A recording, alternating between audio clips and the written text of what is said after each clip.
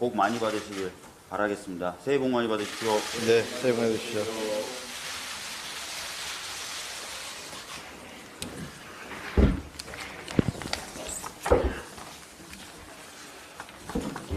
예, 지금부터 159차 원내대책회의를 시작하도록 하겠습니다. 원내대표님 모두 말씀 듣겠습니다. 네, 다시 한번 어, 2024년 갑진년 새해가 밝았습니다. 국민 여러분 올 한해가 더 희망차고 어, 좋은 일만 있기를 기원드리고 새해 복 많이 받으시라고 인사 올리겠습니다. 그런데 우리 국민들에게 그렇게 말씀드리기에는 어, 민생이나 경제 상황 그리고 국내의 정세가 그렇게 간단치는 않습니다.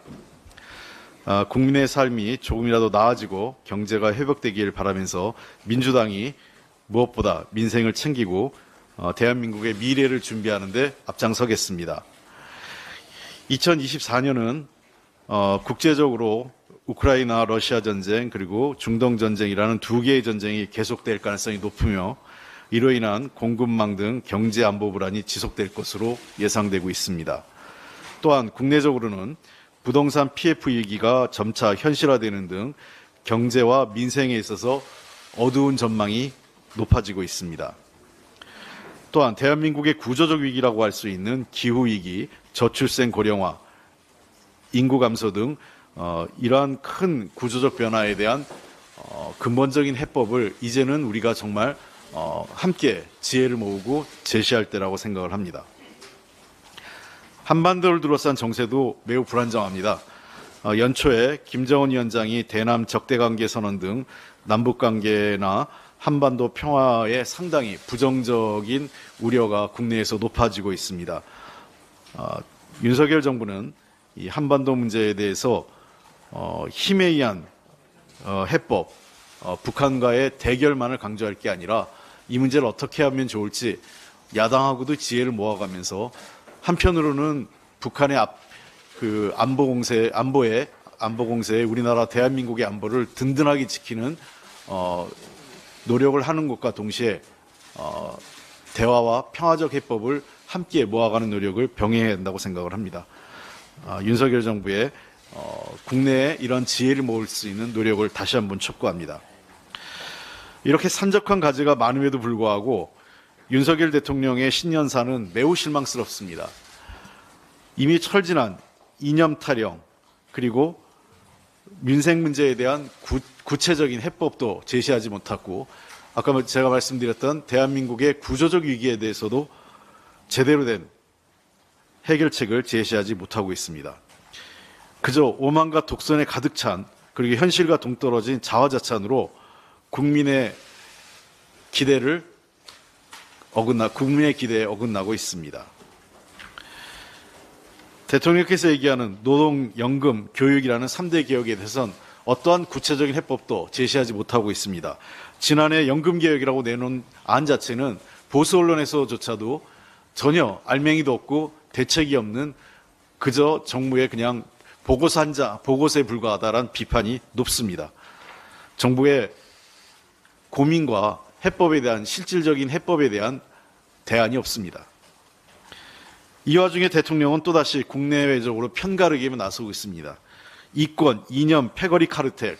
대통령의 신년사에는 담기가 그렇습니다. 패거리 카르텔이란 말 자체는 참 듣기에 거슬립니다. 물론 우리 사회나 경제 분야에 있어서의 이해관계를 독점하고 있는 세력들의 카르텔은 해체해야 됩니다. 바로잡아야 됩니다. 그러나 실질적으로 해결해야 될 법적 카르텔, 대기업의 중소기업에 대한 갑질 이런 문제에 대해서는 관심이 없고 그저 시민사회라든지 본인과 생각이 다른 어, 사람들에 대해서만 카르텔을 운운하면서 해체하려고 하는 것은 매우 잘못됐습니다. 대통령이 또다시 우리 사회에 대한 근본적인 해법, 구조적인 해결책은 제시하지 않고 정쟁으로만 올 한 해를 몰고 가고 그것을 갖고 선거 이번 4월 총선을 치르겠다는 의도인 것 같습니다. 대통령께서 스스로 돌아보면서 본인은 이제 특정 정파의 대통령이 아니라 대한민국의 대통령이라는 점, 그리고 대한민국의 대통령으로서 우리나라의 미래를 어떻게 끌고 나가야 될지 그리고 자신과 생각이 다른 사람들과는 어떻게 대화하고 협력을 이끌어 나가야 될지를 한번 깊은 고민과 성찰을 해 주시기 바랍니다. 총선이 99일 남았습니다. 대한민국의 미래를 결정하는 중요한 선거입니다. 더불어민주당은 국민의 선택을 받을 수 있도록 혁신과 단합을 이루고 미래 비전을 제시해서 국민과 함께 승리하겠습니다. 이번 총선은 더불어민주당의 승리도 중요하지만 그보다 더 중요한 것은 대한민국 국민의 승리, 대한민국 미래 사회를 준비하는 선거입니다. 비로가는 대한민국을 바로 세우고 무너지는 민생 경제에 희망을 드릴 수 있도록 이번 선거에 더불어민주당은 최선을 다하겠습니다. 21대 국회가 마지막 순간까지 한순간도 낭비하지 않고 민생, 경제 살리고 민주주의와 정의를 바로 세우는데 최선을 다하겠습니다. 정부 여당은 그저 야당의 발목 잡기에만 하- 나서지 말고 적극 협조해 주시기 바랍니다. 오는 1월 9일 본회의에서 이태원 특별법이 통과됩니다. 참사의 진상을 밝히고 피해자 지원 방안 등을 마련하게 될 것입니다. 정부 여당은 진실을 외면하지 말고 피해자들의 목소리를 경청하면서 이번 1월 9일 날 협조해 주시기 바랍니다.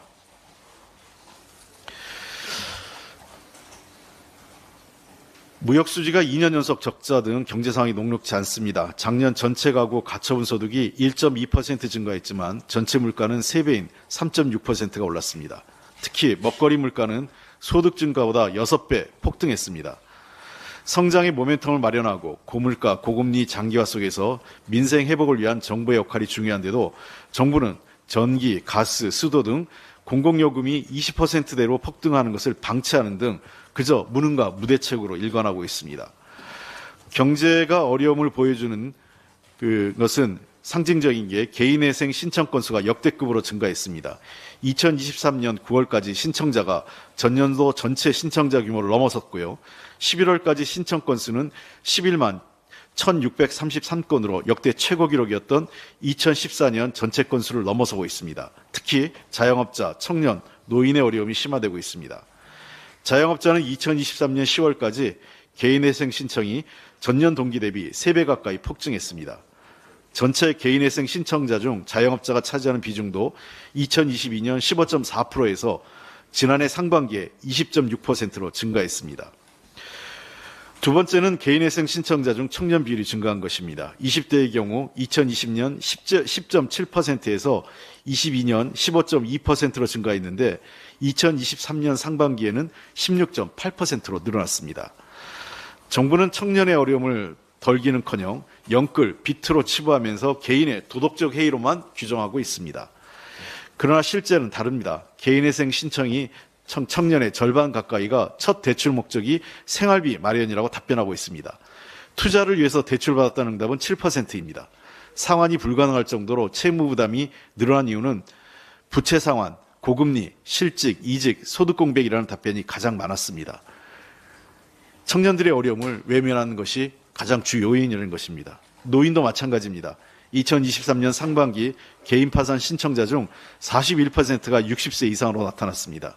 경기 침체, 고금리 고물가에 노년층이 가장 큰 타격을 받은 것입니다. 세계 최고의 노인 빈곤율을 기록하는 것이 대한민국의 민낯입니다. 취약계층의 어려움이 심화되고 있는데도 정부는 이들을 각자 도생의 길, 약탈적 대출의 무방비로 내몰고 있습니다. 정부는 민생의 버팀목이 되기는커녕 청년 예산, 지역화폐 예산 등 민생 예산을 삭감하고 사다리를 걷어차기만 하고 있습니다. 민주당이 간신히 일부 예산을 회복시켰습니다. 올해 민생은 더욱더 어려울 것으로 전망됩니다. 정부 여당이 자화자찬할 때가 아닙니다. 무능과 무책임 반성하고 국민의 삶을 책임있게 챙겨야 됩니다. 민주당이 국민의 삶 곁에 있겠습니다. 서민과 중산층의 버팀목이 되겠습니다. 자영업자, 청년, 노인 등 사회적 약자의 삶을 지키면서 디딤돌이 되겠습니다. 정부가 여당이 사라진 자리에 더불어민주당이 있겠습니다. 예, 최근에 국군 정신교육 교재 문제에 대한 지적이 많습니다. 이에 관련돼서 국방위 김병주 간사님으로부터 말씀을 듣도록 하겠습니다. 네, 안녕하십니까. 국방위원회 간사 김병주 의원입니다. 윤석열 정권은 군 장병들의 교과서인 정신전력 교재에 독도를 영토 분쟁 중인 지역으로 규정하고 교재 속 지도에 독도를 지워버렸습니다. 우리 영토를 수호해야 할 군 장병들에게 우리 독도를 분쟁 지역이라고 가르치려고 했다니 믿을 수가 없습니다. 윤 정권과 국방부는 제정신입니까? 윤석열 대통령은 대국민 사과를 하고 국방부 장관을 경질하십시오. 국민의힘은 국회 국방위원회 소집에 즉각 응하, 응하십시오. 이번 사태에 대해 윤 대통령은 국방부 장관을 질책하며 어이없어 하였다고 합니다. 이를 지켜보는 국민들이야말로 어이를 상실할 지경입니다. 독도가 상실된 문제의 교재는 윤 대통령의 친일 굴종 행보와 판박입니다. 윤 대통령은 일본과의 관계를 개선한답시고 일제 강점기 강제 동원과 위안부 문제를 철저히 외면했습니다. 진보 보수할 것 없이 그 어느 정부에서도 이 같은 굴종 외교를 한 적은 없었습니다. 후쿠시마 핵오염수 문제에는 또 어떻게 했습니까? 일본 정부도 안 하는 오염수 홍보를 우리 세금을 들여 하지 않았습니까? 일본이 정한 다케시마 날 일본과 군사훈련을 했고 한미일 정상회담 직전에는 미 국방성이 동해를 일본해로 표기했지만 항의는커녕 아무 말도 하지 못했습니다. 일본이 두려워했던 홍범도 장군을 비롯한 독립영웅들의 흉- 흉상을 육군사관학교에서 철거하려 했고 독립 역사 지우기를 시도하지 않았습니까? 윤 대통령은 이 같은 친일 노선에 맞춰 국방부가 같이 춤을 춘 것이 이번 사건의 본질입니다. 독도가 상실된, 의의가 상실된 군 정신교재는 이미 예견됐으며 윤 정권의 가치와 이념의 산물입니다. 윤석열 대통령은 국방부와 국방부 장관을 경질하기 전 스스로 질책해야 합니다. 대통령의 국토수호는 헌법이 정한 의무입니다. 그동안의 대일본 굴종 외교와 그로 인한 외교 참사에 대해 당장 대국민 사과를 하십시오. 다시는 친일 매국을 하지 않겠노라고 국민들께 약속하십시오. 윤 대통령의 책임이 가장 크지만 신원식 국방부 장관도 이번 사태에 책임을 져야 합니다. 사과로 끝날 일이 아닙니다. 사퇴하십시오. 여당에게도 국회 국방위 개최를 촉구합니다. 문제의 군 정신교재는 가짜 평화를 운운하며 윤석열 정권이 문재인 정부의 대북 정책을 비판하며 사용하는 정치적 수사를 그대로 옮겨 놓았습니다. 반면 윤 대통령의 외교 성과는 지켜 세우고 윤 대통령의 사진으로 교재 구석구석을 도배했습니다. 독도를 지워 국방의 의무만 저버린 것이 아닙니다. 문재인 정부의 대북 정책을 폄하하고 윤석열 정부의 정책은 찬양하는 등 정치적 중립 의무도 저버린 것입니다. 헌법이 명시한 통일의 가치와 원칙을 대폭 축소했습니다. 개정된 교재는 역대 정부의 통일 정책과 통일의 필요성, 통일의 원칙 등을 15쪽 분량으로 서술했습니다. 그러나 개정된 교재는 이를 한쪽 미만으로 대폭 축소했습니다. 대한민국 헌법 제4조는 대한민국은 통일을 지향하며 자유민주적 기본 질서에 입각한 평화적 통일 정책을 수립하고 이를 추진한다고 명시하고 있습니다. 이러한 헌법 정신, 정신에 반하고 있는 것입니다. 올 총선을 앞둔 시점에서 선거법 위반 소지도 큽니다. 교재에 새로 언급된 내부의 위협 세력과 북한 추종 세력은 윤 대통령이 문재인 정부와 민주당을 비판하며 사용했던 노- 용어인 반국가 세력과 같은 맥락으로 읽히기 때문입니다. 이러한 교재를 4만 건이나 제작해 일선 군부대에 배포했다. 뒤늦게 부랴부랴 해소하고 폐기한다, 한다면서 혈세를 낭비했습니다. 따라서 국방위원회를 열어 이 교재를 만들게 된 경위와 가정, 예산 낭비를 하게 된 배경을 소상히 따져 국민들께 보고 드려야 합니다. 이상입니다. 예, 다음은 최근 어려움을 겪고 있는 자영업자에 대한 대책을 촉구하는 이동주 부대표님의 말씀 듣도록 하겠습니다. 네, 원내부 대표 이동주입니다. 김건희 특검과 50억 클럽 특검이 지난주 국회를 통과했습니다. 윤석열 대통령은 법안이 정부로 이송되는 대로 즉각 거부권을 행사할 것이라고 합니다. 만약 윤석열 대통령이 예고대로 김건희 특검과 관련해서 거부권을 사용한다면 이는 심각한 헌법 위반 행위가 될 것입니다.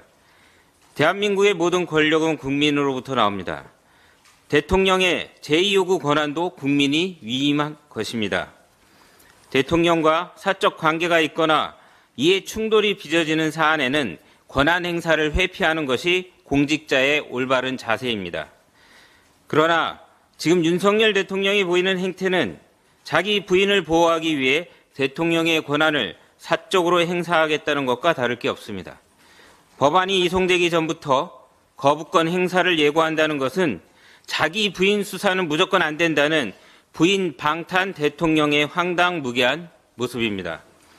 50억 클럽, 50억 클럽 특검도 마찬가지입니다. 50억 클럽의 핵심은 박영수 전 국정농단 특검입니다. 50억 클럽 특검은 부산 저축은행 불법 대출 부실 수사 의혹까지 확대될 수 있고 이는 윤석열 대통령과도 연관된 사안입니다. 부인과 자신을 위해 대통령의 권한을 사용해서는 안 됩니다. 여러 여론조사에 따르면 국민 60% 이상이 특검에 찬성하고 대통령이 거부권을 행사해서는 안 된다고 말하고 있습니다. 즉, 특검이 국민의 뜻입니다. 이를 거부한다면 그것은 대통령의 국민 불복입니다. 윤석열 대통령에게 경고합니다. 국민께 복종하지 않는 대통령에게는 국민이 거부권을 행사할 것입니다. 윤석열 대통령은 검찰총장 시절 국회에 출석해서 이명박 정부 때 검찰의 정치적 중립이 잘 보장됐다는 취지로 대통령 측근과 형 이런 분들을 구속할 때 별 관여가 없었던 것으로 쿨하게 처리했던 기억이 난다고 말한 적이 있습니다. 본인 말대로 김건희 여사 수사도 쿨하게 받아들이기 바랍니다. 덧붙여 더불어민주당은 예정대로 오는 9일 이태원 참사 진상규명 특별법을 처리하기 위해 최선을 다하겠습니다. 이태원 참사 이후 지금까지 정부의 그 누구도 이 비극적 참사에 책임지지 않았습니다.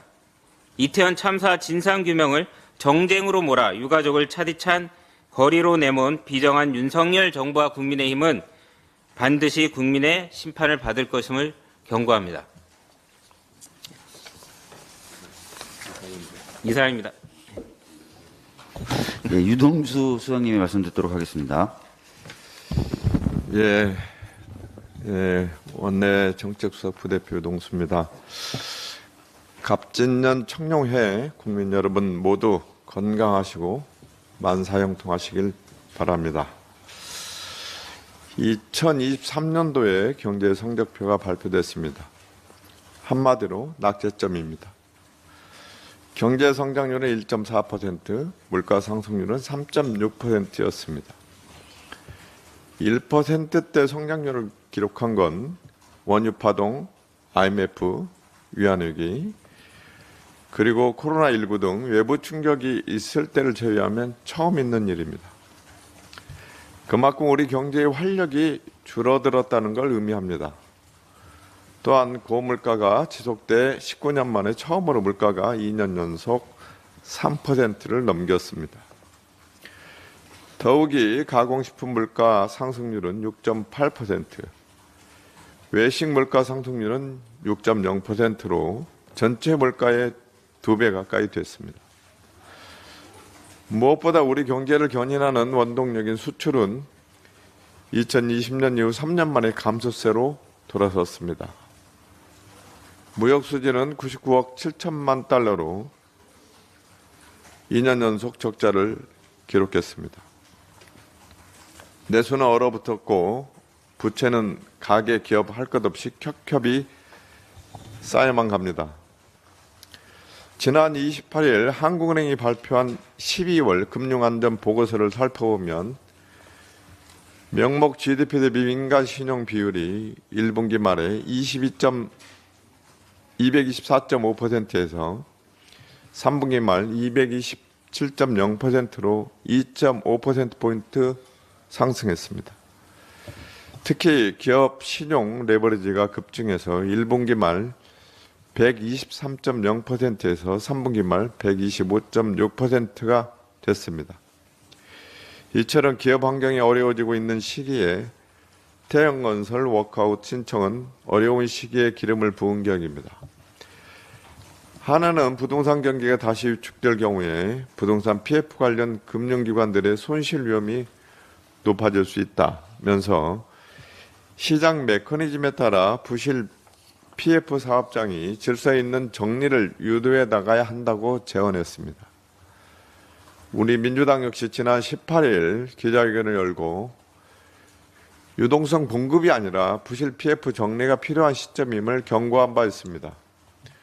그런데 정부는 여전히 부동산 경기 부양에만 골몰하고 있습니다. 최상목 신임 부총리는 29일 열린 거시경제 금융 현안 간담회에서 태형건설 워크아웃 신청에 관한 부동산 PF의 질서 있는 퇴진보다 먼저 시장 안전 조치 확대를 꺼내 들었습니다. 한은도 우리 민주당도 부동산 PF의 추가적인 유동성 공급은 시장 충격을 더 확대할 뿐이라고 경고하고 있는데도 지금 바로 무너지지만 않으면 된다는 태도로 일관하고 있는 것입니다. 총선까지 버티기만 한다는 게 윤석열 2기 경제팀의 신조가 아니길 바랍니다. 한국은행은, 한국은행은 올해 경제 성장률을 2.1%로 전망했습니다. 국내 민간 연구소들은 작년처럼 1%대 성장을 전망하기도 합니다. 저성장이 고차가 될지 반등의 기회가 주어질지 중요한 분기점에 서 있습니다. 윤석열 정부는 고물가 고금리에 고통받는 국민의 어려운 살림을 직시하고 보살펴야 할 것입니다. 이상입니다. 예, 저도 좀 짧게 말씀드리겠습니다. 아까 김병주 간사님께서 국군 정신 전력 교육 교재의 문제점에 대해서 말씀해 주셨습니다. 그리고 그 문제점을 제대로 지적하고 정정하기 위해서 국방위 소집을 요구하셨습니다. 저는 운영이 간사기도 합니다.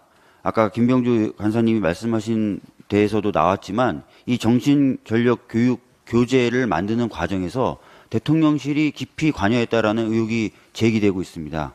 따라서 운영위 차원에서도 이 정신전력 교육 교재가 어떻게 만들어지게 되었는지를 짚어볼 필요가 있습니다. 아, 그래서 저희도 어, 운영위 소집을 좀 요구하겠습니다. 아, 제가 일전에도 말씀드렸던 것처럼 지금 국민의힘의 경우에는 당과 대통령의 관계를 재정립하는 것이 혁신의 우선순위로 꼽히고 있습니다. 그런 문제를 해결하기 위해서 온 사람이 저는 한동훈 비대위원장이라고 생각합니다. 일각에서는 한동훈 비대위원장이 대통령에게 직언을 할 수 있는 사람이다라고 평가를 하기도 합니다. 그렇다면 이번에 우리 김병주 간사님과 제가 요구하는 바대로 문제가 있다고 지적된 부분을 제대로 점검하기 위한 국방위와 운영위 소집을 국민의힘은 응해 주시기 바랍니다. 아, 이것은 당과 대통령이 어떤 관계를 가져나갈 것인가를 보여주는 시금석이 될 것이고 비대위원장으로서의 한동훈 전 장관이 할 수 있는 가장 기본적인 역할일 것입니다. 이것을 하지 못한다면 허울뿐인 비대위원장이다. 대통령에게는 쓴소리 한번 제대로 못하는 비대위원장이다. 라는 것을 스스로 증명하는 것이라 생각합니다. 다시 한번 말씀드리지만 운영위와 국방위 소집 요구를 할 테니 거기에 국민의힘이 적극적으로 응하고 정부도 응할 수 있도록 그래서 최근에 드러나고 있는 여러 문제들을 어, 제대로 좀 짚어볼 수 있도록 해주셨으면 좋겠다는 말씀드리겠습니다. 거부권 관련돼서 아까 이동주 의원님이 말씀하셨는데 저도 짧게 좀 덧붙이겠습니다. 노조법 2, 3조, 방송법 등에 대해서 거부권 행사했습니다. 당시 헌재는 이미 두 법이 통과되는 과정에서 아무런 절차상 하자가 없다고 인정을 했습니다. 그런데도 거부권을 행사했습니다.